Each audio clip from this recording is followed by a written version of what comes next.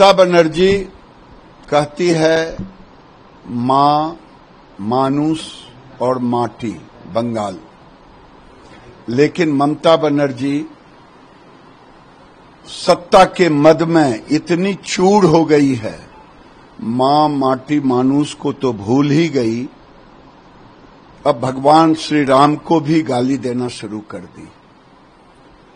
आज बंगाल में डॉक्टर बेटी के रूप में निर्भया की फिर से उसके साथ जो दुर्दांत अपराधियों ने सत्ता के संरक्षण में बलात्कार किया, निर्भया के भी याद को भी कम कर दे रहा है। साथ ही साथ अभी खबर आई है, एक युवक का सर भी कटा मिला है। ममता दीदी राम शांति और सद्भाव के प्रतीक हैं तो वहीं अन्याय रूपी रावण, तिरजटा, तारका, सुपनेखा का भी नाश किया है।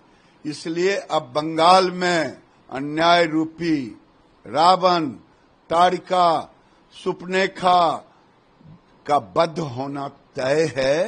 राम सद्भाव के प्रतीक हैं आप माँ मान, माटी और मानुस भूल चुकी है। कोई और सांसद है? क्योंकि वो जानती हैं ममता बनर्जी की प्रतिक्रिया। ये नहीं कह रही हैं कौन है? बंगाल में एक खड़का भी इधर से उधर होता है तो बिना ममता बनर्जी अभिषेक बनर्जी के इजाज़त का नहीं होता। वहाँ अगर गुंडागर्दी भी होती तो अभिषेक बनर्जी और ममता बनर्जी के बगैर नहीं होता।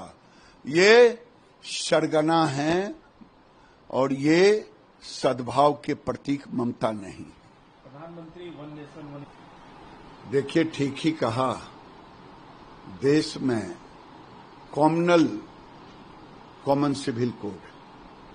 Communal को भी कहा जाता है इसलिए कि एक खास को प्रोटेक्ट करती आज़ादी के बाद से हिंदुओं ने, सनातनियों ने, बाल विवाह जैसी जो हमारी विसंगतियाँ थी, उसको हमने समाहित करके भारत के संविधान में भरोसा किया। लेकिन ये कॉमनल कॉमन सिविल कोड सरिया कानून को ज़िंदा रखा, तीन तलाक को ज़िंदा रखा, ये धन्य मोदी जो उसको खत्म किया।